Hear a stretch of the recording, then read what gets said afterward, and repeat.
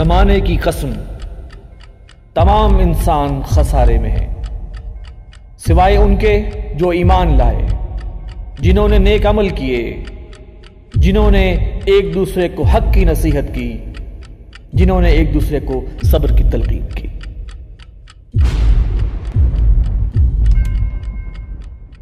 बसमीम अल्लाम नाजरीन, मैं हूँ वसीम अहमद और आप देख रहे हैं ताज़ा तरीन ख़बरों पर तबसरों और तजियों का प्रोग्राम ज़माना गवाह है। नाजरीन, कादियानियों को 7 सितंबर 1974 में कौमी असम्बली के सामने अपने अफकार व नज़रियात के हक़ में तसली बख्श जवाब ना दे पाने की वजह से यूनानी मसली गैर मुस्लिम करार दे दिया गया था। ऐसा सिर्फ़ पाकिस्तान में नहीं हुआ, बल्कि दुनिया के दीगर कई ममालिक भी कादियानियों या अहमदियों को गैर मुस्लिम करार दे चुके हैं। उन्नीस सौ चौरासी में जनरल ज़ियाउल हक के दौरे हुकूमत में एक ऑर्डीनेंस के ज़रिए पाकिस्तान में कादियानियों पर कुछ पाबंदियाँ भी आयद कर दी गई थी। लेकिन 1974 से आज तक कादियानी पार्लियामेंट के मुतफ़ा फ़ैसले और दस्तूर पाकिस्तान का मुसलसल इनकार करते आए हैं। गुजशत छियालीस सालों पर मुहित इस तवील अरसे में पाकिस्तान में मौजूद कादियानी और उनके कुछ हमदर्द और सहूलतकार इस फितना कादियानियत को पाकिस्तान में फलने फूलने का भरपूर मौका देने की कोशिश करते रहे हैं। कभी वोटर लिस्टों में ख़त्म नबूत का हल्फनामा ख़त्म करने की कोशिश की जाती है। कभी कादियानियों को पाकिस्तान के कलीदी अहदों पर तैनात करवाया जाता है और कभी हज फार्म पर रद्दबदल की कोशिश की जाती है। और रिसेंटली कौमी अकलीती कमीशन में कादियानियों को बतौर अकलीत शामिल करवाने की कोशिश की गई है। नाजीन हम आज के प्रोग्राम में ये जानने की कोशिश करेंगे कि ये सब कुछ किस ग्रेट गेम का हिस्सा है? ऐसी घरौनी कोशिशों के पस पर्दा मकासद क्या हैं? और ममलकत खुदादाद पाकिस्तान से इस फितना कादियानियत का मुस्तकिल सदबाब कैसे मुमकिन है? गुफ्तु में मेरा साथ देंगे तर्जमान तंजीम इस्लामी मोहतरम जनाब मिर्ज़ा अयूब बेग साहब। उनके साथ तशरीफ़ रखते हैं मरूफ इस्लामी स्कॉलर जनाब मोहम्मद मतीन खालिद साहब। और टेलीफोन लाइन पर हमारा साथ देंगे जस्टिस रिटायर्ड मियाँ नज़ीर अख्तर साहब। आइए प्रोग्राम का आगाज़ करते हैं। मतीन खालिद साहब, सबसे पहले तो हमें ये बताइए कि कादियानियों की पाकिस्तान में आइनी हैसियत क्या है? बसमीम सिम साहब का बहुत शुक्रिया आपने मुझे मौका फ़राहम किया। पाकिस्तान में कादियानियों को उनके कुफ्रिया अकायद की बुनियाद पे गैर मुस्लिम अकलीत करार देने के लिए पाकिस्तान में, पाकिस्तान बनने के बाद से मुख्तलिफ़ अदवार में तहरीकें, मुतालबात होते रहे। उन्नीस सौ तिरपन की तहरीक ख़त्म नबूत का भी मरकज़ी और उनका बुनियादी जो नारा था और मुतालबा था, वो यही था। उसके बाद उस तहरीक में तो शायद कुछ ना हासिल हो सका आइनी तौर पे, कानूनी तौर पे, लेकिन उसमें मुसलमानों का बहुत ज़्यादा नुकसान हुआ, लेकिन उसमें फ़ायदा ये हुआ कि एक कौम को एक बहुत ज़बरदस्त किस्म का मैसेज भी गया और बहुत ज़्यादा उनको एक अवेयरनेस आई पूरी कौम में। उसके बाद हालात चलते रहे। कादयानी अपने अकायद जो कुफरिया हैं दिल आज़ार हैं, गुस्ताखाना हैं, उनका बड़े भरपूर तरीके से सरेआम और अलानिया वो लिटरेचर भी तकसीम करते रहे। मुसलमानों को अपने मज़हब में लेके आते रहे, सालाना जलसे करते रहे और तकारीर उनकी बड़ी इश्तियाल अंगेज़ होती रहीं और पूरे पाकिस्तान के हर शहर में उनको खुलम खुला इजाज़त थी कि वो ऐसा कर सकते हैं और अगर कोई उनको रोकता तो तो बजाय कादियानियों को रोका जाता, मुसलमानों के ख़िलाफ़ कानूनी ताज़ीराती कार्रवाई होती। चुनाचे ये उन्नीस सौ चौहत्तर में एक छोटा सा वाक़ हुआ कि मुसलमान हमारे बच्चे जो मुल्तान निश्तर मेडिकल कॉलेज के थे, वो पिशावर सैर करने के लिए जब गए तो रास्ते में रबुआ रेलवे स्टेशन आता है। आजकल उसका नाम चनाब नगर है। तो रबुआ रेलवे स्टेशन पे कादियानियों ने, हसब मामूल उन मुसलमान नौजवानों में, सवारियों में अपना इश्तियाल अंगेज़ और गुस्ताखाना लिटरेचर तकसीम किया, जिसमें उन्होंने मिर्ज़ा ग़ुलाम अहमद कादियानी को नबी और पता नहीं क्या का खराफात उसमें बकी। तो ये नौजवान थे, मुसलमान थे तो इन बच्चों ने, इन स्टूडेंट्स ने, तालब इलमों ने वो लिटरेचर लेने से इनकार कर दिया। कादियानियों के लिए ये एक बड़ा अजीब था कि भी कोई आदमी हमारी सरजमीन पे आके और हमें ये कहे कि हम आपका लिटरेचर नहीं लेते और बाकायदा फिर उन बच्चों ने ख़त्म नबो जिंदाबाद के नारे भी लगाए जिसके जवाब में जब बाद में वो समदानी कमीशन ट्रिब्यूनल बना तो उसमें रिपोर्ट में लिखा कि इसके जवाब में उन्होंने अहमदिया जिंदाबाद और नौज बिल्ला ख़त्म नबोद मुर्दाबाद के नारे भी लगाए गए। इस ट्रिब्यूनल रिपोर्ट में मौजूद है।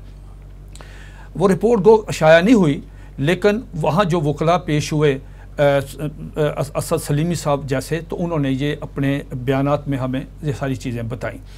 उसके बाद इस तहरीक चली।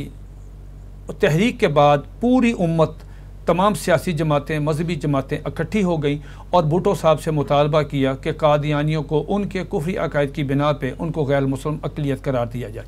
चुनाचे कौमी असम्बली में ये उनतीस मई का वाक़ है तो उसके बाद जून के शुरू में कौमी असम्बली का सेशन शुरू हुआ। तो जमीत पाकिस्तान के मौलाना शाह नूरानी रमत ने वहाँ पे ये करारदाद पेश की और जिसकी फिर आगे तमाम अकाबरीन ने, तमाम मम्बरान ने उसकी तायद की, तोसीक की और वो एक बिल पेश कर दिया गया असम्बली में।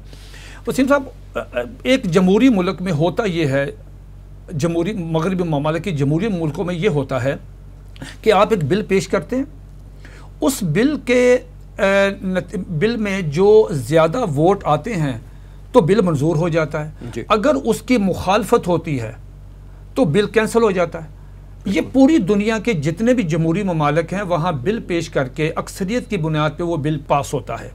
अक्सरियत की बुनियाद रेगुलेशन तो यही है। यही है। लेकिन भुट्टो साहब को ये क्रेडिट जाता है कि उनकी आप बसीरत कह लें या उनकी एक बालग नज़री देखें कि उन्होंने अपोजिशन के रहनुमाओं को बुला के कहा कि मेरी एक रिक्वेस्ट है और मेरी एक ज़ाती ख्वाहिश है कि हम एक बहुत बड़ा नबे साल एक मसला है, ये हल करने जा रहे हैं। मेरी रिक्वेस्ट है कि हम अक्सरियत की बुनियाद पर फैसला कर लेंगे, ये तो दो मिनट लगेंगे। क्यों ना हम ऐसे करें कि हम कादनी जमात के सरबरा जो है इस वक्त मिर्ज़ा नासर, हम उसको दावत दें अगर वो दावत कबूल करता है हमारे पास आ जाए हम उस पर जिरा कर लेते हैं कि यार वाकई इनके अपनी पोजीशन वाजे करने के लिए उसको इनवाइट किया जाए। वाजे कर ताकि कल वो ये ना कहें कि हमें तो सुने नहीं गया हमारी किताबों में मौका नहीं दिया गया। हम्म। चुनाचे मिर्ज़ा नासर को दावत दी गई।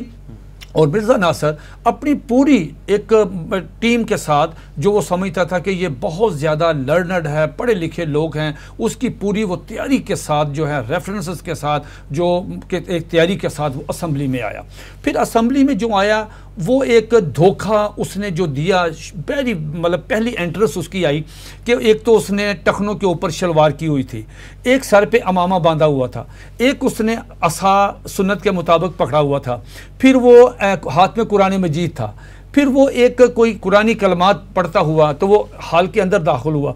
तो भुटो साहब जैसा आदमी थोड़ा सा परेशान हुआ। तो उन्होंने मौला मुफ्ती ममूर रहमत को बुलाया और कहा कि, यार, इस आदमी को हम गैर मुस्लिम अकलीत करार देने जा रहे हैं। तो मुफ्ती साहब ने मुस्करा के कहा कि, मेरी रिक्वेस्ट है कि आप देखते जाएँ कि इनका दजल खुलता किस तरह अब घबराएँ ना, इनको मौका दें ज़रा। शिकारी जब शिकार करने जाता है तो वो इसी रूप में जाता है। तो शिकारी के रूप में नहीं जाता, वो धोखे से जाता। आप देखें, उसके बाद ये हुआ कि स्पीकर थे साहबजा फारूक अली खान साहब, अटॉर्नी जनरल थे ये बख्तियार साहब वज़ीर कानून थे, अब्दुल हफीज़ पीरजादा भुटो साहब की मौजूदगी में ये एस ओ पीज़ बने कि भाई करना क्या है? अगर हर आदमी को अलाउ कर दें इजाज़त दे दें कि वो बरह रास्त मिर्ज़ा नासिर पे सवाल करेगा तो एक खिचड़ी सी पक जाएगी एक माहौल जो है ख़राब ना हो जाए। एक पैनल होना चाहिए जो उससे सवाल करे। उन्होंने कहा जी कोई आदमी पूरी असम्बली में कोई सिंगल वन आदमी भी बराह रास्त मिर्ज़ा नासिर को सवाल नहीं करेगा। ठीक। कतन जो भी सवाल करना है कागज़ पे लिख के अटॉर्नी जनरल को दे दें स्पीकर को दे दें speaker attorney general ji Bakhtiar साहब को देंगे वो, वो करेगा दो आदमी दो आदमी बात करेंगे बाकी सुने जिसको कोई मसला है वो कागज़ पे लिख के सवाल दे दे। लिहाजा ये बड़े पुरअमन बड़े फ्रेंडली माहौल में ये सारी तेरह दिन की ये कार्रवाई है। तेरह दिन? तेरह दिन तेरह दिन की ये कार्रवाई है प्रोसीडिंग चली लगा प्रोसीडिंग इस इशू पे। इस एक इशू पे लाहौरी जमात को भी जो कादियानियों की दूसरा फिरका उसको भी बुलाया। उसके बाद अब जो कार्रवाई है कौमी असम्बली की ऑफिशियल गवर्नमेंट ने शाया कर दिया और गवर्नमेंट के बाद फिर हमारे दोस्तों ने भी बुज़ुर्गों ने भी वो शाया कर दिया। अब वो बिल नेट पे भी मौजूद है जी जी। तो वो कोई बत्तीस तैंतीस सौ चौंतीस सौ सफ़े की कार्रवाई है। वो बिल्कुल जो असम्बली में सवाल जवाब हुए वो सारे। मनोवन आ गए। जी मनोवन उसके बाद पूरी असम्बली सुन रही थी भुट्टो साहब खुद सुन रहे थे बड़े दिलचस्प उसमें सवाल हुए बहुत कुछ। बस मैं सिर्फ़ एक सवाल आपकी खिदमत में अर्ज़ करना चाहता हूँ।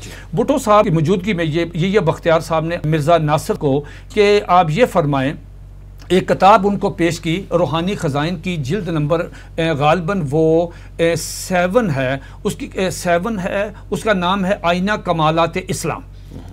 सेवन है या फाइव है? आईना कमा वो एक ही किताब है उस उस खजा उस उसमें जिल्द में एक ही किताब है वो लब, मोटी किताब है। उसका सफ़र नंबर था फाइव फोर सेवन और फाइव फोर एट पाँच सौ सैंतालीस पाँच सौ अड़तालीस। उसमें मिर्ज़ा नासर को ये तहरीर दिखाई किताब निकाल के पहला ये सवाल पूछा कि ये आपके दादा जान की किताब है? उसने कहा जी बिल्कुल मेरे दादा जान की किताब है। उन्होंने कहा ये दादा जान से मुराद? मिर्ज़ा गुलाम अहमद कादियानी। ओके। झूठा मुद्दे नबूवत उससे कहा गया मिर्ज़ा नासर से कि आप इसका ये अबारत जो है ये एक सौ पाँच सौ सैंतालीस सफ़े पे है। यहाँ से ये चलती पाँच सौ अड़तालीस पे आ जाती है। ज़रा इसको अबारत को पढ़िए। मिर्ज़ा नासर ने पूरी असम्बली भुट्टो साहब की मौजूदगी में ये अबारत पढ़ी। बड़ा कमाल कलाइबक सीन था वो। उसके बाद उनका इसका तर्जमा कर दें। जब उसने तर्जमा किया तो आप हैरान होंगे कि एक शशतर रह गई पूरी असम्बली। वो ये था, उसका तर्जमा ये है कि मिर्ज़ा ग़ुलाम अहमद कादियानी ने कहा कि मैंने जितने भी दावे किए हैं अपनी किताबों में, नबूवत का, रिसालत का, मेरे जितने मुआवजे हैं, जो कुछ मैंने खराफात बकी हैं अम्बिया के ख़िलाफ़ जो भी मैंने गुस्सा जो शख्स मेरी किताबों में ये सारी मेरी तहरीरों की तस्दीक नहीं करता और मेरी किताबों को मोहब्बत की नज़र से मोहब्बत की नज़र से नहीं देखता दो चीज़ें मेरी किताबों को मोहब्बत की नज़र से नहीं देखता और नहीं और मेरी इन तहरीरों की तायद नहीं करता। वसीम साहब मुझे शर्म आती है आपके इस प्रोग्राम में ये लफ्ज़ कहते हुए कि मैं अपना केस मज़बूत नहीं कर सकता कि जब तक मैं लफ्ज़ इस्तेमाल ना करूँ अरबी का लफ्ज़ उन्होंने इस्तेमाल किया मिर्ज़ा ग़ुलाम अहमद कादयानी ने कि वो आदमी जो नहीं तस्दीक करता मोहब्बत की नज़र से मेरी तहरीरों को नहीं देखता वो ज़ुर्रियतुलबगाया है। ज़ुर्रियतुलबगाया का आप जहाँ से मर्ज़ी तर्जमा देख लें बगाया ज़ुरिया औलाद बगाया बाजारी औरत। यानी हलाल औलाद नहीं है। हलाल औलाद नहीं है। हम्म। वो बाजारी औरत का बच्चा है। इतनी बड़ी गाली। अब देखें भुटो साहब जैसा सेकुलर आदमी या पूरी असम्बली अब्दुल फ़ीस पीस ज़्यादा फरूक अली, हम, मैं और आप, हम मिर्ज़ा ग़ुलाम अहमद कादनी की तहरीरों की ना तो तस्दीक करते हैं और ना उसकी तहरीरों को मोहब्बत की नज़र से देखते हैं। अब मिर्ज़ा ग़ुलाम अहमद कादनी, जिनका ये नारा है पूरी दुनिया में कि love for all hated for none मोहब्बत सबसे, नफ़रत किसी से नहीं। उनको किसने ये इख्तियार दिया है कि वो ये बात कहें कि भाई वो नहीं देखता तो वो ज़रूरियतुल बगाया। और दिलचस्प यहाँ पे बात यह है कि मिर्ज़ा ग़ुलाम अहमद कादियानी की दो बीवियाँ थीं। एक हरमत बीबी, एक नुसरत जहाँ बेगम। नुसरत बीबी से दो बच्चे थे। ये बशीरुद्दीन, बशीर अहमद, ये सारे दूसरी बीवी से हैं। पहली बीवी से दो बच्चे, एक का नाम था फ़ज़ल अहमद और एक का नाम था सुल्तान अहमद। ये जो फ़ज़ल अहमद था ना, ये मिर्ज़ा ग़ुलाम अहमद कादियानी की से बैत नहीं की। उसने कहा, सॉरी, मिर्ज़ा ग़ुलाम अहमद कादियानी ने इसको जायदाद से आक भी किया और उसका जनाजा भी नहीं पड़ा। तो हम कादियानी से ये सवाल करते हैं कि जो मिर्ज़ा साहब ने जो गाली दी अपने फतवे की जात में तो खुद ही आ गए अपने फतवे की जात में आप खुद आ गए हम्म। चुनाचे मैं आगे चलता हूँ। ये तेरह दिन की बहस के बाद जब सारी चीज़ें खुल गई सब कुछ वहाँ पे डिस्क्लोज हो गया और मिर्ज़ा नासर ने सारा कुछ कन्फेस कर लिया कि ये हमारे अकायद हैं हमारी किताबों में मौजूद हैं और हम बिल्कुल इसको तस्लीम करते हैं। और बाज़ अकायद इस कदर ख़तरनाक थे कि असम्बली के लोग सेकुलर होने के बावजूद बाज़ मेम्बरान वो भी सर पकड़ कर बैठ गए कि ये अकीदा किस तरह मतलब ये कहना कि अब अब मिर्ज़ा ग़ुलाम अहमद कादियानी का स्टेटस वो पहले तो हम यही समझते रहे कि मिर्ज़ा ग़ुलाम अहमद कादियानी को ये कहते हैं कि ये महदी है। कि आपका महदी एक मुजद है। मुजद है। हम्म, हम्म। लेकिन जब किताबें खुली तो बाद में पता चला कि जनाब ये तो मिर्ज़ा ग़ुलाम अहमद कादियानी को मोहम्मद रसूल कहते हैं। जब कलमा पढ़ते हैं तो उस कलमा में जब मोहम्मद कहते हैं तो हम मोहम्मद हजूर सरवर कायनात हज़रत मोहम्मद मुस्तफ़ा सल्लल्लाहु अलैहि वसल्लम मुराद लेते हैं। ये हज़रत जब मोहम्मद लफज आता है तो मिर्ज़ा ग़ुलाम अहमद कादियानी लेते हैं। ये चीज़ें एक नहीं मिर्ज़ा ग़ुलाम अहमद कादियानी की बीवी को उमुलमोमिन कहते हैं। मिर्ज़ा कादियानी का जो दो दोस्त हैं उनको सहाबा कहते हैं। मिर्ज़ा कादियानी के साथ सल्लल्लाहु अलैहि वसल्लम लिखते हैं। और मिर्ज़ा कादियानी की बातों को हदीस का दर्जा देते हैं। ये सारी कन्फेशन किया कि जो वही उतरती है, उसको आप कुरान मजीद कहते हैं। फिर ये सवाल भी हुआ कि आप ये बताएँ कि रहमत आलमीन कौन है? उन्होंने कहा जी कि नबी पाक सलम मिर्ज़ा नासर ने कहा तो उन्होंने कादियानी का जो कुरान तस्करा है वो निकाल के दिखाया कि ये तो मिर्ज़ा ग़ुलाम अहमद कादियानी कहता है कि ये आज तो मुझ पर उतरी है और आज के बाद वमा अरसलना का अल्लाह रहमत आलमीन का मुस्ताक तो मैं हूँ। तो उस पर मिर्ज़ा नासर खामोश हो गया। और पूरी असम्बली का चेहरा जो गुस्से के साथ था, देखें, आदमी जितना भी गुनागार हो, आदमी अमाल के लिहाज से जितना भी कमज़ोर मुसलमान हो, कोई आदमी ये बर्दाश्त कर सकता है कि वो मिर्ज़ा ग़ुलाम अहमद कादियानी को मोहम्मद रसूलुल्लाह का आप कहें, उसे सल्लल्लाहु अलैहि वसल्लम कहें, उसकी बीवी को मोमिन कहें और उसकी बातों को हदीस कहें, उस पर उतरने वाली वही को कुरान मजीद और उसे आप कहें कि ये ये रहमत आलमी, ये नाकबिल बर्दाश्त है। चुनाचे इसके नतीजे में पूरी कौमी असम्बली इस नतीजे पर पहुँची कि इनके अकायद कुफरियाँ हैं और ये नॉन मुस्लिम है गैर मुस्लिम है। चुनाचे आइन के आर्टिकल 106 और 260 के तहत कादियानियों को मुस्तकिल तौर पे अकलीत करार दे दिया गया। ये पाकिस्तान के आइन में लिख दिया गया ये उनकी आइनी हैसियत आइनी हैसियत है उसमें जो उस वक्त है। हम्म। ये अपने जहाँ क्रिश्चियंस हैं सिख हैं हिंदू हैं उनके साथ इनको भी शामिल किया कि ये आज से नॉन मुस्लिम बदकिस्मती ये हुई उन्नीस सौ चौहत्तर से लेकर उन्नीस सौ चौरासी दस साल का अरसा।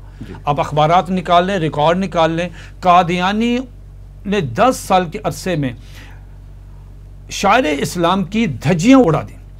उन्होंने उसी तरह अपनी तबलीग उसी तरह लिटरेचर उसी तरह वो प्रोपोगंडा उसी तरह मुसलमानों की दिल आज़ारी उसी तरह अपने गुस्ताखाना अकायद बल्कि वो हमें तंज करते रहे कि आप सरकारी मुसलमान हैं और हम ओरिजिनल मुसलमान हैं। हमें वो कहते हैं आप नान मुस्लिम हमें कहते हैं हमें क्या हम नान मुस्लिम किस तरह कहने लगे आप नान मुस्लिम में उनका अंदाज और वायलेंट हो गया जी और उन्होंने कहा जी क्या मिर्ज़ा गुलाम अहमद कादियानी की नबूवत के मतलब है नहीं हम्म। मानते नहीं? अच्छा मज़े की बात यह है कि हमने कादियानियों को ज़बरदस्ती तो लेके नहीं नहीं आए उन पर जबर तो नहीं किया उनको पुलिस एफ़ आई ए पकड़ के तो नहीं लिया आप तो खुद आए हैं और खुद आके कहा जी उनके जहन में था कि इनको तो पता ही नहीं हम इनको ऐसे चकमा देंगे और सारा कुल। हम्म। लेकिन अल्लाह रबुल्ज़ा करम हुआ कि बुज़ुर्गों की अकाबरीन की सारी उम्मत मुसलमान के सियासी दीनी क्यादत सबने अपना मुश्तर हिस्सा डाला और उसके नतीजे में ये गैर मुसलम। दस साल के बाद उन्नीस सौ चौरासी आता है। हम्म। उन्नीस सौ चौरासी में हमारे अकाबरीन जो हैं ये जाते हैं हुकूमत के पास। वहाँ राजा ज़फ़र हक साहब वज़ीर कानून थे। थे आज भी वो गालबन सेनेटर हैं। उनकी का दौर था जी जयाउल साहब का दौर था जयाउल साहब का। तो उनको ये बताया गया कि अगर ये नॉन मुस्लिम है तो अपनी आबादत गाह को मस्जिद क्यों कहते हैं? मस्जिद तो मुसलमानों की होता लफ्ज़ होता है। ये अजान क्यों देते हैं? ये शार इस्लामी क्यों इस्तेमाल करते हैं? ये अपने सालाना जलसे को हज क्यों कहते हैं? तो ये चीज़ें तो नाकबले बर्दाश्त हैं। तो उन्होंने कहा नहीं आपका पॉइंट वैलिड है। एक नान मुस्लिम को मुसलमानों के शायर इस्तेमाल करने की इजाज़त नहीं दी। चुनाचे 26 अप्रैल उन्नीस को हुकूमत पाकिस्तान ने एक ऑर्डीनेंस जारी किया जिसके नतीजे में कादियानियों को रोका गया कि आप अपने आप को एज ए मुस्लिम पोज नहीं करेंगे। आप अपने मज़हब को इस्लाम नहीं कहेंगे। आप अपने मज़हब की वो तबलीग जो दिल आज़ार है गुस्ताखाना है जो शायर इस्लामी पर मुश्तमिल, वो आप नहीं करेंगे। अपनी अबादत गाह को मस्जिद नहीं कहेंगे अजान नहीं देंगे, अपने आप को मुसलमान। ये इस आर्डीनेंस आने के बाद कादियानियों ने क्या किया? उस वक्त मिर्ज़ा नासिर फौत हो चुका था उन्नीस सौ बयासी में। तो ये उन्नीस सौ चौरासी की मैं बात कर रहा हूँ। तो यहाँ पे उनका फिर चौथा खलीफा मिर्ज़ा ताहर आया। वो बेसिकली वो मतलब थोड़ा सा एक क्रिमिनल जहन का आदमी था। उसने सारे पाकिस्तान के कादियानियों से कहा कि इस ऑर्डीनेंस का आपने मुकाबला करने के लिए और लॉ एंड ऑर्डर की सूरत हाल पैदा करें और आप ऐसे करें, अपनी अबादत गाहों के बाहर, अपने घरों के बाहर और अपने यहाँ पे सीने पे यहाँ पे कलमा लिखें और देखते हैं हमें कौन रोकता है कि खालिद साहब ये जो 84 में जो जनरल जयाउल दौर में जो ऑर्डिनेंस आया और इसके नतीजे में उन पर पाबंदियाँ लगी जी जी। इस पे वो पूरी दुनिया में एक्सप्लाइट करते हैं वो पाकिस्तानियों को भी और मुसलमानों को भी। इस पर आगे चल के बात करते हैं अयूब बेग साहब को शामिल करते हैं। अयूब बेग साहब ये फरमाइए कि आइनी और कानूनी हैसियत जो है वो कादियानियों की जो वो बड़े तफसीली अंदाज में मतीन खालिद साहब ने हमें बताई। आप ये फरमाइए कि कादियानियों की शरी हैसियत क्या है? देखिए बिसमीम मेरी हैसियत किसी मुफ्ती को की तो नहीं है कि मैं इसकी कोई वाज किस्म की शरी हैसियत बता सकूँ, लेकिन ये बात बड़ी एक आम मुसलमान के जानने वाली है कि जो शख्स नबी अकरम सल्लल्लाहु अलैहि वसल्लम को आखिरी नबी, आखिरी रसूल नहीं मानता, वो मुसलमान नहीं है। और जो शख्स मुसलमान होने के बाद किसी दूसरे को, किसी और शख्स को नबी मान ले कि आपके बाद भी कोई है, वो मुसलमान था पहले, और अब उसने ये कह लिया कि फ़लाँ शख्स भी, जिस तरह ये मतलब वो भी नबी है तो गोया वो उसने इर्तदाद का इरतकब किया, वो अब मुर्तद है। उसने मुसलमान होने के बाद, मुसलमान इस्लाम की जो बुनियादी चीज़ है, यानी ख़त्म नबूत आप सल्लल्लाहु अलैहि वसल्लम का आखिरी नबी होना कुरान पाक का का आखिरी किताब होना उसका इनकार किया तो अब वो काफिर नहीं है अब वो मुर्तद है क्योंकि वो इस पहले इस, इस्लाम में था अब वो इसमें आ गया। जिन लोगों ने मिर्ज़ा ग़ुलाम अहमद के हाथ पर बैत की थी उस पर हाथ पर ईमान लाए थे अभी तक तो ये भी आपको मालूम होगा कि उनके यहाँ भी एक बहुत कन्फ्यूज़न है। कोई मिर्ज़ा ग़ुलाम अहमद कादियानी को नबी कहता है और कोई मुजद कहता है। ये लाहौरी ग्रुप और ये दूसरों का मामला है। लेकिन हमारे दीन के मुताबिक अगर किसी ऐसे शख्स को जो नबूत का दावा करे, हजूर सल्ला वसल्लम के बाद तो वो मुजद क्या, वो मुसलमान कहलाने का वो फासिक है, वो फाजर है, वो मुसलमान नहीं है, वो मुर्तद है। बल्कि उलमा ने यहाँ तक कहा है कि अगर नबी अकरम सल्लल्लाहु अलैहि वसल्लम के बाद कोई शख्स नबूत का दावा करे और आप उससे सबूत मांगे तो आपने कुफर किया। इसका सबूत मांगने की हर गिज़ इजाज़त नहीं है कि किसी से। क्यों? हमारे लिए नबी अकरम वसल्लम का आखिरी नबी होना, आखिरी रसूला ख़त्मी है उसमें किसी किस्म के किसी सवाल की, किसी आगे पेश रफ्त की कोई ज़रूरत, कोई मौका है ही नहीं। लिहाजा उलमा ने उस शख्स को, जो सिर्फ़ उनसे सबूत मांग ले, उसको भी कहा है कि वो इस्लाम के दायरे से खारिज हो जाएगा। तो ये देखिए, नबी, बात ये है ज़रा थोड़े समझिए कि तमाम जो आसमानी जो मज़हब हम जिन्हें कहते हैं, मसलन यहूदी हुए, मसलन ईसाई हुए, ये तमाम जो हैं वो अम्बिया को तस्लीम करते हैं। यहूदियों का फ़र्क ये है कि वो हज़रत मूसा के बाद, हज़रत ईसा को उन्होंने तस्लीम ना किया। ईसाइयों का मामला ये हुआ कि ईसाइयों ने हज़रत ईसा के बाद बकौल उनके वैसे तो वो हज़रत ईसा को भी उस तरह नहीं मानते इस तरह मानना चाहिए बाद हज़रत ईसा के बाद उन्होंने हजूर का इनकार किया। वो हर शख्स वो जो हजूर का इनकार करेगा, वो दायरा इस्लाम से खारिज हो जाएगा। और वो अगर वो शुरू से ऐसा है तो वो गैर मुस्लिम है, वो काफिर है। और अगर उसने मुसलमान होने के बाद ऐसा किया तो गोया उसने इर्तदाद का इरतकब किया, वो मुर्तद हुआ। लिहाजा ये जितने कादियानी हैं ख़ास तौर पर हम कहेंगे कि जो जो उसके वक़्त जिन्होंने किया उसने सद ये किया था। और असम्बली में हम, हमारी ख्वाहिश थी, ऐसा हो जाता। बहरहाल बुज़ुर्गों ने बहुत बड़ी हिम्मत की, बहुत एजाज़ था उन्होंने कि उन्होंने कादियानियों को गैर मुस्लिम करार दिलवा दिया। वगरना होना ये चाहिए था, या एक मैं अपनी ज़ाती ख्वाहिश कह कह लीजिए कि उसका इजहार कर रहा हूँ कि ये साथ ऐलान होता कि जो कादियानी, आज तक कादियानी हुए हैं, उन्हें माफ़ किया जा सकता है। मैं लफ इस्तेमाल किया, कर रहा हूँ, किया जा सकता है।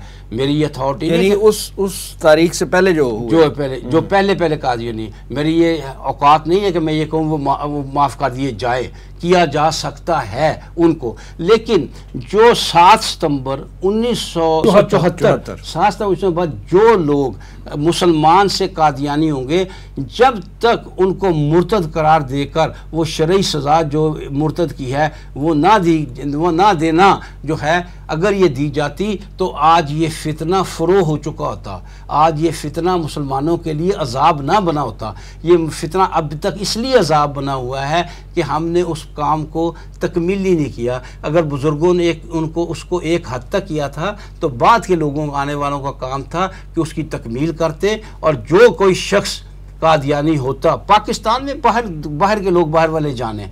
ये आइन की खिलाफ वर्जी थी। आइन के लिहाज से वो मुर्तद होता है। अगर ये भी साथ है लिहाजा शरण तो वो मुर्तद हैं और उन्हें ये तय होना चाहिए था जो नहीं तय हुआ कि उन्हें मुर्तद की सजा दी जाती ठीक है। वसीम साहब इसमें थोड़ा सा इजाफा करूँगा। एक मिनट प्लीज़ हमारे यहाँ आजकल ये बहस चल रही है मैं बेग साहब की बात को आगे बढ़ाते हुए कि जो कादियानी पहले मुसलमान था एक मुसलमान और वो बन गया कादियानी वो हो गया मुर्तद।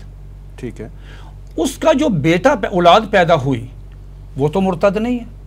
मुर्ताद तो उसका उसने खुद ऑप्ट नहीं किया। खुद अडॉप्ट नहीं किया। उसका दादा अगर कादियानी हुआ है मुसलमान से इस्लाम से कादियानी कबूल किया वो हो गया मुर्तद। ठीक है। अब उसकी जो औलाद है वो तो मुर्तद नहीं है, वो तो आम- कादियानी का घर पैदा हुआ है। वो तो कादियानी घर पैदा हुआ। किसी के घर भी पैदा जी जी जी किसी हम्म, वो ये एक मसला चल रहा है। इसका हमारे बुज़ुर्गों ने ये जवाब दिया है। उसका जवाब मैं आपसे अर्ज़ करता हूँ। हम्म। एक है जनाद का। जनाद का क्या है? ये जंदीक है। ये मुर्तद की अगली स्टेज है। जंदीक क्या है?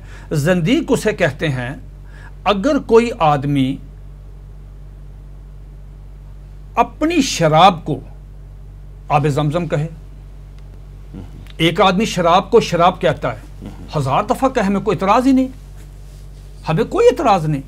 एक आदमी शराब को आबे जमजम कहता यानी है हराम को हलाल कह दे सीधी सी बात। जी वो सूअर के गोश्त को बकरे का गोश्त मतलब कहे ये धोखा है। एक आदमी कहता है जी कि मिर्ज़ा गुलाम अहमद कादियानी मोहम्मद रसूल अल्लाह है उसका दादा भी यही कहता था और उसका जो बेटा वो भी ये कहता है और जो अगली नस्ल इस वक्त छठी नस्ल चाहे ले लें पांचवी नस्ल ले लें तीसरी ले लें। वो भी यही अकीदा रखती है। तो ज़ाहिर बात है कि ये अकीदा तो जो है ये अकीदा तो जंदीक है। मुर्तद को तो शरी इस्लामी हुकूमत में तो तीन दिन मिल जाते हैं।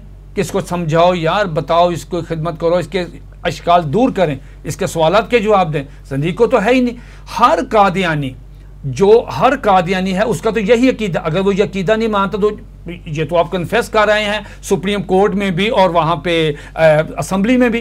तो ये इसी बुनियाद पे तो आपको गैर मुस्लिम यानी आपका कहना यह है कि उसकी चाहे जितनी मर्ज़ी पुश्ते हों और वो बाई बर्थ जो है वो कादियानी पैदा हुए हों तो वो नज़दीक हैं और मुर्तद हैं। इस इस बुनियाद पे कि वो मिर्ज़ा गुलाम अहमद कादियानी को मोहम्मद रसूल हैं। बिल्कुल ये बड़ी अच्छा ये फरमाइए। ये फरमाइए कि पाकिस्तान में अब ये अ, अकलियती कमीशन जो कौमी अकलियती कमीशन जो बनाया जा रहा था इसकी तश्कील नौ की ज़रूरत क्यों महसूस हुई? और कादियानियों को जो पाकिस्तान में कादियानी है उनको क्या इस अकलीत कमीशन में शामिल करना चाहिए? जी। वसीम साहब ये बहुत शुक्रिया। ये आज का जो मौजूदा दौर है बिलखसूस पाकिस्तान में ये इसका बर्निंग आजकल ये इशू चल रहा है। जी। अकलीती कमीशन जो पाकिस्तान में हमारी गवर्नमेंट ने पिछले दिनों बनाया और जिस पर बहुत शोर मचा उसकी अगर आप दो मिनट मुझे देंगे उसकी बैकग्राउंड में आपको समझाता हूँ।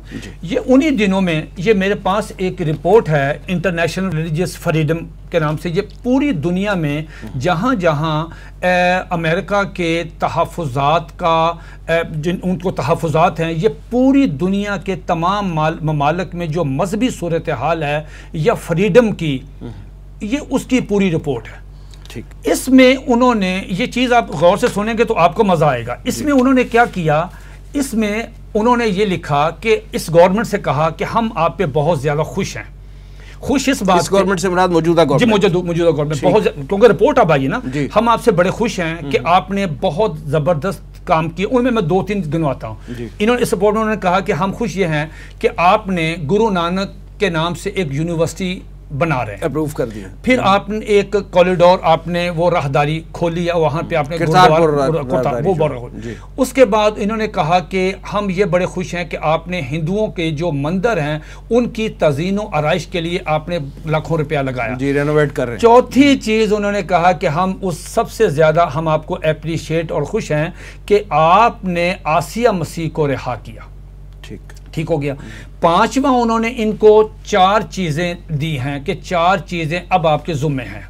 इसी में लिखा हुआ है कि आप अकलीती कमीशन को यानी अगला टारगेट दे दिया। अगला टारगेट लिखा कि अकलीती कमीशन जो है उसको आप जो 2000 जैसे बेग साहब फरमा रहे थे कि वो 2014 में 13 में वो चर्च हमला हुआ था तसदुक हुसैन जलानी जो चीफ जस्टिस थे उन्होंने कहा था वो बनाए। उसके बाद रुका रहा काम फला। अब इन्होंने कहा कि उस कमीशन को आप असर नौ उसको देखें।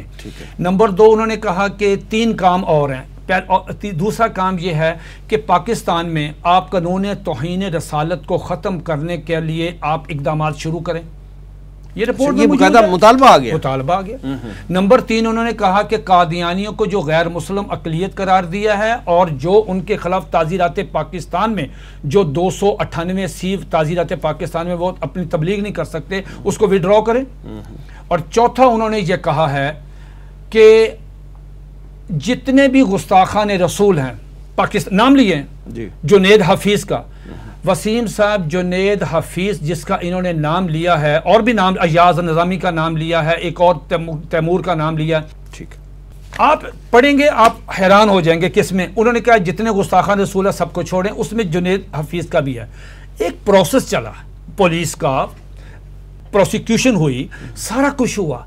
आप हमारे अदालती मामला में मैं चैलेंज करता हूँ कि जो फैसला सेशन जज साहब ने जुनेद हफीज गुस्ताख रसूल के मामले में दिया है, अगर आप उस फैसले में उस नौजवान लड़के ने जो नबी करीम अलैहिस्सलाम की तोहन की है और उस तोहन की बुनियाद पे गैर उसको सजाए मौत हुई है, मैं कसमिया तौर पे आपसे अर्ज़ करता हूँ कि खुदा की कसम आप उसका एक जुमला नहीं पढ़ सकते। मुझे मालूम है कि मैंने उसका तर्जमा किस तरह किया। गंदी गालियाँ आपका सेशन जज है। लेकिन कोर्ट में तो आपकी- सब डिस्कस होता है ना। ने आपके एसपी ने उसकी उसकी एसपी ने तफ्तीश की है। एसपी तो झूठ ही बोलता।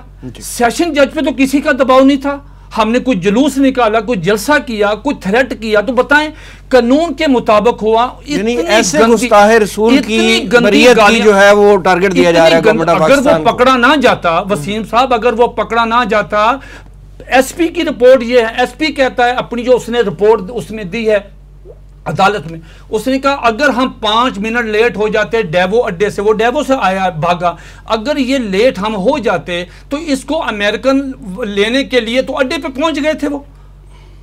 वो तो रास्ते में थे। इसको- कर रहे थे उसको। जी उसको जी वो अमेरिकन कॉन्सुलेट ने लाहौर वाले ने ले लेना था इसमें थोड़ा सा मैं भी अर्ज़ करूँगा। जी। इसमें बात यह है अमेरिका हर साल रिपोर्ट शाये करता है। और मुझे अच्छी तरह याद है कि 20 साल पहले भी यही मुतालबात थे। बिल्कुल यही मुतालबात थे। एग्जैक्टली तोहन रसालत के मुजरमों को छोड़ो कादियानियों को अ, ये करो फलां को ये करो ये करो। ये अमेरिका और जिस तरह इस तरह उन्होंने हिंदुओं को कुछ मुतालबा दे दिए हैं। लिहाजा ये अमेरिका ने बतौर कमीशन के ये अपना नहीं बताता कि अमेरिका में मुसलमानों के साथ कितने जुल्म हो रहे हैं। दूसरों से मुतालबा करता है। देखिए, ये जो आसिया बीबी का फैसला हुआ है ना, ये बड़ा तकलीफ़ देह है। लेकिन ये जुडिशरी ने फैसला दे दिया। हमारी हाईएस्ट जुडिशरी ने फैसला दे दिया। हम इस पर सवाए मातम के और क्या कर सकते हैं? लेकिन आज तक अल्लाह का फजल है कि 20 साल में इनमें इस, इसमें से, देखिए, आपको याद है 295 सी का किस ज़माने में मुतालबा आया था?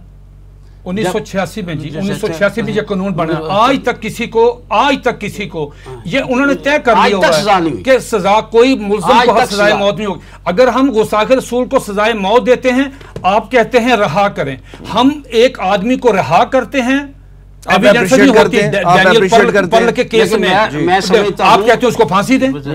लेकिन इस मामले में अकवाम मुतहदा में इस दफ़ा वजी अजम ने बात की है। कि आप एक तरफ़ तो कहते हैं कि यहूदियों का ज़िक्र ना करें होलोकास्ट का। का। और हमारे पैगंबर को अगर कोई तहवीन करे तो आप कह देते हैं कि इसको छोड़ दो। तो बिल्कुल साफ़ बात की है।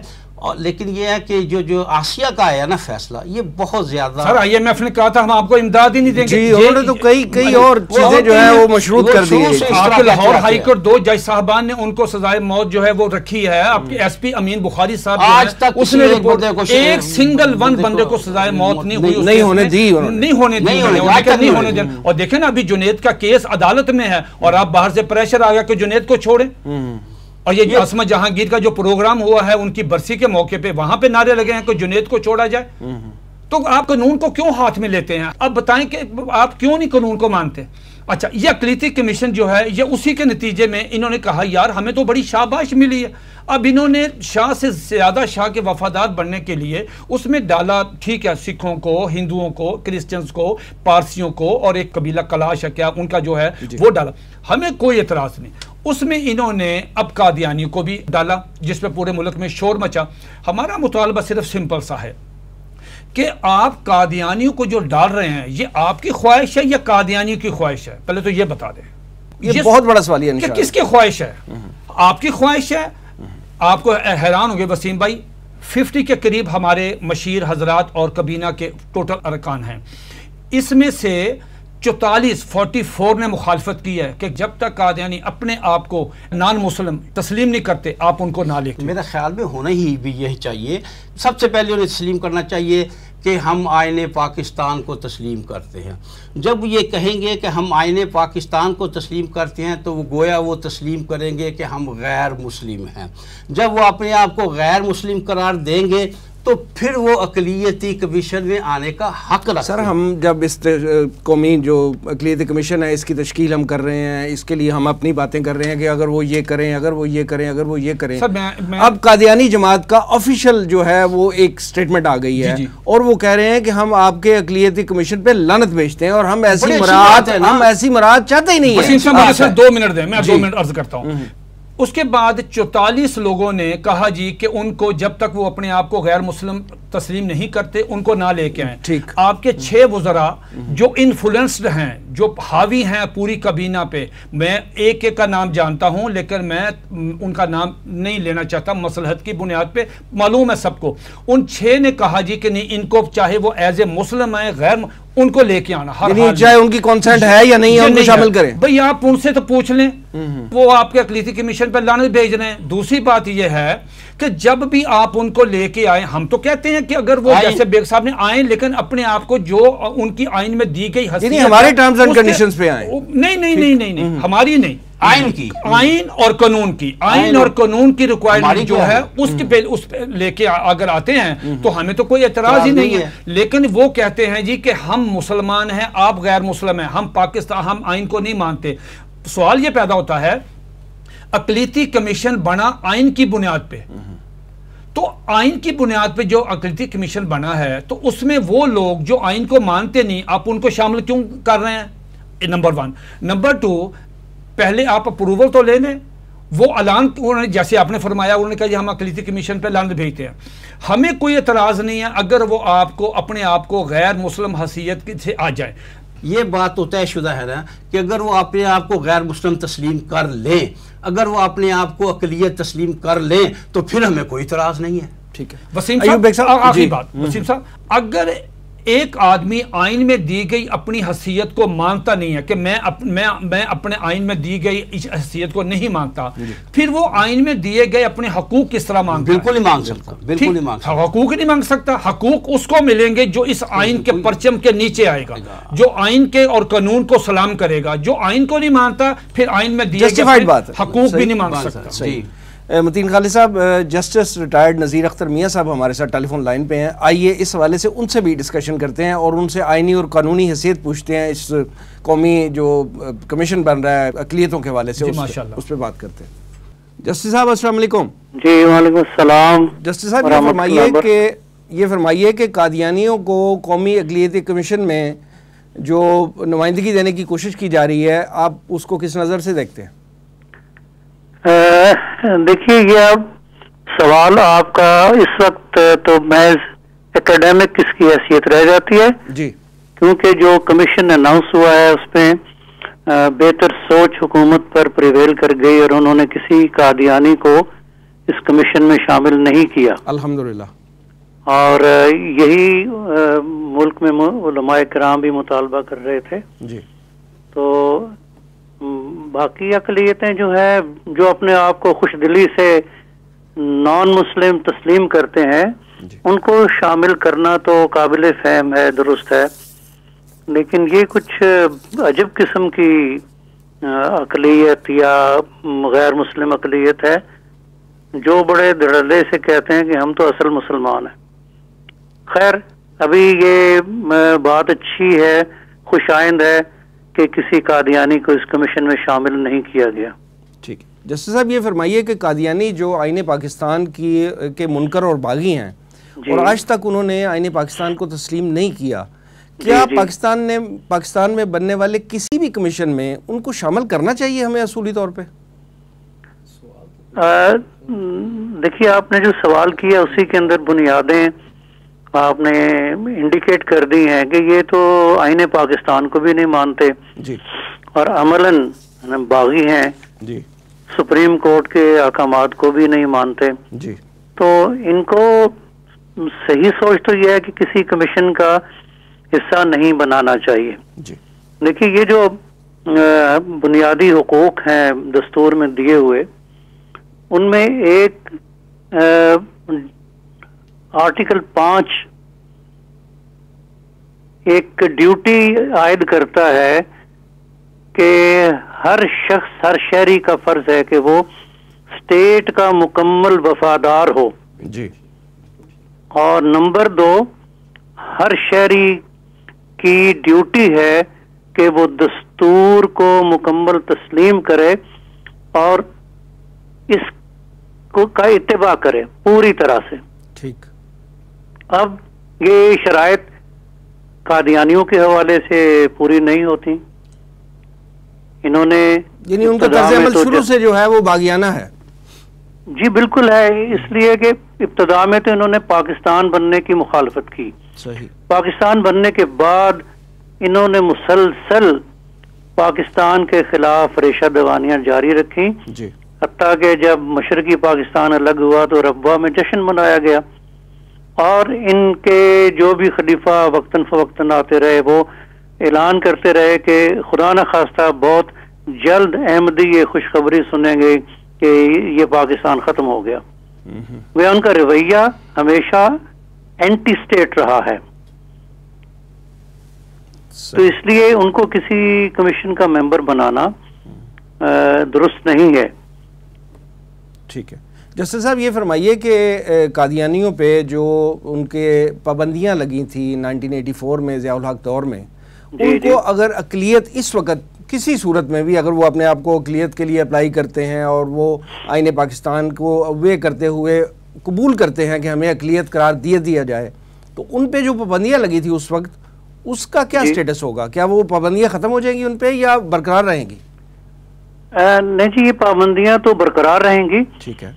देखिए ये इनका जो एक बहुत बड़ा हक क्लेम करते हैं कि हम आर्टिकल 20 के तहत हमारा हक है बतौर शहरी के कि हम कोई मज़हब इख्तियार करें उस पर अमल करें और उसको प्रोपेगेट करें यानी उसकी तबलीग करें। ये हमारा हक है। ठीक। अब ये हक इब्तदा में जो लफ्स है वो कहता है कि subject to law public order and morality ठीक। गोया ये हक कोई बिल्कुल आजादाना सा हक उनका नहीं है कि वो बगैर कानून की इतवा किए और पब्लिक ऑर्डर और मोरालिटी को देखे। ये सारी फैसिलिटीज़ जो हैं सारा हक हासिल करने की काविश करें। यही फैसला तो दिया था ना लाहौर हाई कोर्ट ने उन्नीस सौ nineteen ninety two Lahore page one पे ठीक। ये जस्टिस खलील रहमान का था कि ये हक उनका ताबे कानून है सब्जेक्ट टू लॉ ठीक। अब लॉ में लॉयल्टी की भी कंडीशन है लॉ के अंदर पब्लिक ऑर्डर और मोरालिटी को भी देखना है। ठीक। लेकिन कादियानियों से अगर पूछा जाए कि तुम्हारा मज़हब क्या है तो कहते हैं कि इस्लाम। ठीक। अच्छा दस्तूर भी ये कहता है कि स्टेट रिलीजन पाकिस्तान का इस्लाम है। यहाँ मुराद इस्लाम जो चौदह सदियों से इस्लाम पे लोग अ, अमल कर रहे हैं हुजूर के ज़रिए हमें ये दीन मिला है ये वो मज़हब मुराद है। जबकि अमलन इनका मज़हब एक नया नबी जिस पर ये ईमान लाए हैं मिर्ज़ा गुलाम अहमद उसने जो कुछ कहा है उसके अकायद की तरवीज को ये इस्लाम कहते हैं। और यही वजह है कि उन्नीस में सुप्रीम कोर्ट पाकिस्तान ने एक फैसला दिया जो रिपोर्ट हुआ 1993 एससीएमआर पेज 1718 पर जी। कि कादियानी दुनिया को ये कहकर धोखा देते हैं कि उनके अकायद असल इस्लाम है। ठीक। और जब उनकी रिटें खारिज की गई या जो भी उनकी पिटिशंस थी सुप्रीम कोर्ट में तो उस जजमेंट की रेशो ये है कि धोखा देना किसी का बुनियादी हक नहीं है। ठीक। अब ये बड़ी अहम बात है। ये अजब किस्म की माइनॉरिटी है। अपने आप को गैर मुस्लिम भी तस्लीम नहीं कर, करते बल्कि जुल्म ये करते हैं कि पाकिस्तान के 22 करोड़ मुसलमान बाकी इस्लामी ममालिक में बसने वाले तमाम मुसलमान हती के सारी दुनिया में जिन लोगों ने मिर्ज़ा कादियानी का नाम भी ना सुना हो कहते हैं ये सारे काफिर और गैर मुस्लिम हैं। ठीक। तमाम मुसलमानों को। अब दस्तूर जिस मज़हब की तरवीज चाहता है और उस सरकारी मज़हब के तौर पर इख्तियार करता है वो मज़हब तो हकीकी इस्लाम है जो चौदह सौ सदियों से मौजूद है। मिर्ज़ा गुलाम कादियानी ने तो 1901 में नबी होने का दावा किया जबकि 20 बरस पहले वो यही कहता रहा कि अगर कोई हजूर के बाद नबी होने का दावा करे तो वो दायरा इस्लाम से खारिज है। उसने हमेशा 20 बरस तक ये कहा कि जो वही थी वही वही ये नबूवत वो ख़त्म हो चुकी है। आदम इस्लाम से शुरू हुई हुजूर नबी अकरम सल्लल्लाहु अलैहि वसल्लम पे ख़त्म हो गई। उनके बाद अगर कोई नबूवत का दावा करे तो काफिर और दायरा इस्लाम से खारिज है। ठीक। उसके बाद खुद दावा कर दिया। अब ये इन अकायद की तरवीज करते हैं और मिर्ज़ा कादियानी को नौज बिल्ला हजूर से बड़ा दर्जा देते हैं। कादियानियों का एक अजीब अकीदा है कि हर शख्स तरक्की कर सकता है और नौज बिल्ला हत्या के हजूर से बढ़ सकता है। अस्तगफिरुल्लाह। और इनके बड़े तकलीफ़ दे अकायद हैं। पब्लिक मोरलिटी और पब्लिक ऑर्डर को देखा जाए ना, इनके अकायद में इतनी इश्तियाल अंगेज बातें हैं कि अगर वो पब्लिक के सामने आए या पेश की जाए तो सख्त इश्तियाल फैलता है। तो गोया इनको आज़ादी से तबलीग करने की इजाज़त देना भी कानून के खिलाफ है दीन के खिलाफ है पब्लिक ऑर्डर के खिलाफ है। ठीक है और इन पर जो जायज़ पाबंदियाँ लगी हैं कानून की शक्ल में मौजूद हैं ये कायम रहेंगी। इनके साथ कोई भी खिलवाड़ नहीं कर सकता। ठीक। किसी ने तो उसके संगीन नतज उन्हें भुगतने पड़ेंगे। ठीक। है जस्टिस साहब बहुत शुक्रिया जी। बड़ी नवाजिश आपकी। वसीम साहब मैं मोहतरम जस्टिस साहब की बात को आगे बढ़ाते हुए जिस उन्होंने S C M R nineteen ninety three Zaheeruddin बनाम सरकार पे number one seven one eight का हवाला दिया वो मैं वो मैं जजमेंट साथ लेके आया हूँ। अच्छा। मैं उन जज साहब की बात को आगे बढ़ाते हुए मैं इसमें सिर्फ़ दो चीज़ों का इजाफा करूँगा। इस फुल बेंच के फैसले ने दो बातें बड़ी कमाल लिखी। एक तो उन्होंने ये, जो जस्टिस ने फरमा दिया कि भाई उन्होंने कहा भी धोखेबाजों के हकूक़ नहीं होते। सुप्रीम कोर्ट के बेंच ने दो चीज़ें जो मैं आपके नोटिस में लाना चाहता हूँ, वो ये लिखी। पहली तो ये कही कि अगर हम कादियानियों को उनकी तबलीग, जो वो अपने अकायद की तबलीग करते हैं, अगर हम उनको, उनके मज़हब की तबलीग करने की इजाज़त दे दें तो गोया ये बिल्कुल ऐसे ही है कि हम माशरे में सलमान रुश्ती जो है उसको तख्लीक कर रहे हैं। ये लफज लिखे हैं सलमान रुश्ती जिसने वो स्टैनिक वर्सेस किताब लिखी थी और पूरी उम्मत का उस पर क्या इतफाक है कि वो कौन है और उसके उसका हशर क्या होना चाहिए? यानी अगर इनको ये इजाज़त दी जाए तो ये फितना फैलाने का सबब बनेंगे। गोया हम सलमान रुश्ती उनमें पैदा कर रहे हैं। मुआरे में हम पैदा कर रहे हैं कि सलमान रुश्ती जगह जगह जाएगा उनकी शक्ल में। ये फैसले में लिखा है फैसले में गोया ये कहते हैं कि हर कादियानी अपने अकायद की बिना पे वो सलमान रुश्ती है। नंबर दो बहुत दिलचस्प है। वो मैं आपकी नोटिस में लाना चाहता हूँ। मैं रात ये फैसला पढ़ रहा था सुप्रीम कोर्ट के पास ये गए थे आइन के आर्टिकल 20 के तहत जो जस्टिस साहब ने भी फरमाया कि हमें हकूक दिए जाएँ। तो उन्होंने इनके मुतलक किसी और अकलीत के मुतलक सिखों, हिंदुओं, ईसाइयों, पारसियों के मतलब ये कभी किसी डिसीज़न जजमेंट में ये अल्फाज नहीं। सुप्रीम कोर्ट के फुल बेंच ने इनकी सारी किताबें, सारी तहरीरें देखने के बाद वो इस नतीजे पे पहुँचे और इनके मतलब दो लफज इस्तेमाल किए। उन्होंने कहा कि ये जो नान मुस्लिम अकलीत है, एक तो लफज इस्तेमाल किया फराडोलेंट, कि ये फराडिए फराडिए नान मुस्लिम है, फराडोलेंट। और ये सफ़ा number one seven double five पे है, आखिरी पैरा। कि एक तो आप फ्राडोलेंट हैं और दूसरा आप अनसक्रूपलस हैं अनसक्रूपलस यानी आप बेईमान हैं, ढीठ हैं, ज़िद्दी हैं और आपका कोई असूल नहीं है। ये डिक्शनरी खोल के देख लें उन्हें कहा कि आप वो हैं। और जिस अकलीत को आपके पाकिस्तान की सुप्रीम कोर्ट फराडोलैंड कहती है, आप उसको कौमी अकलीती कमीशन में शामिल कर रहे हैं, ये तोहन अदालत भी है।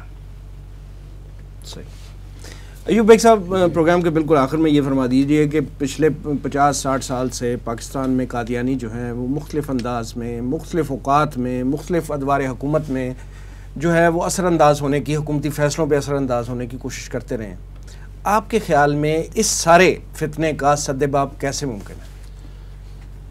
देखिए वसीम साहब आपने किया तो आखिरी सवाल है लेकिन ये आखिरी सवाल है बहुत तफसील तलब। बात यह है कि क्यों पाकिस्तान की हुकूमतों पर ये पचास साल से असरानंदाज होते हैं? नंबर एक कि पचास साल से हमने कशकोल पकड़ा हुआ है। और वो कशकोल पचास साल से हम सारी दुनिया में, या कम अज़ कम चालीस साल से वो कशकोल लेकर आज तक हम दुनिया में घूमते हैं। जब हम कशकोल लेकर घूमते हैं तो जो कशकोल में डालेगा, वो कुछ मुतालबा भी करेगा। उसके कुछ मुतालबे होंगे कि मेरी ये बात मानी जाए, नंबर एक।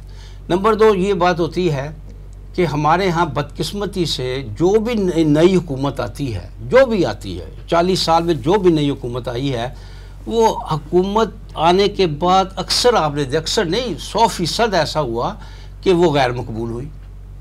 जब हुकूमतें गैर मकबूल होती हैं, अवामी सतह पर तो उन्हें ज़रूरत पड़ती है किसी बाहर के सहारे की, किसी गैर मुल्की ताकत के सहारे की।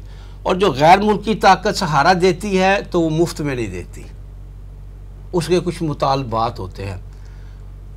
और तीसरी वजह यह है कि हमारे यहाँ जो ख़ास तौर पर जो हमारी अलीट है, जिसे हम अपना अशराफिया कहते हैं, जिन्होंने अंग्रेज़ की तालीम को दीनों ईमान समझा और अंग्रेज़ की तालीम की बुनियाद पर वो आला आला अहदों पर पहुँचे पाकिस्तान में। उनके सामने एक तो ये ख़त्म नबूत का मामला अल्लाह मुझे माफ़ करे एक फ़ैशन सी बात है जी। ये इससे क्या फ़र्क पड़ता है जी? ये जी कोई कोई अपना कीदा रखे कोई कुछ रखे कोई कुछ रखे इससे दूसरे आपके ख्याल में उनका वीएन क्लियर नहीं है इस उनका वीएन क्लियर नहीं है। हम्म, हम्म। उनका उन तालीमत ने जो अंग्रेज़ ने उनको दी और इस उहदों पर लाए वो सी एस एस किया और उन्हें वो इन उहदों पर आए उनका ये कि मज़हब का सियासत से हुकूमत से कोई ताल्लुक़ नहीं होता। और मज़हब और हुकूमत को सबसे एक जैसा सलूक करना चाहिए। लिहाजा मैंने आपको तीन चीज़ें गिनवाई हैं।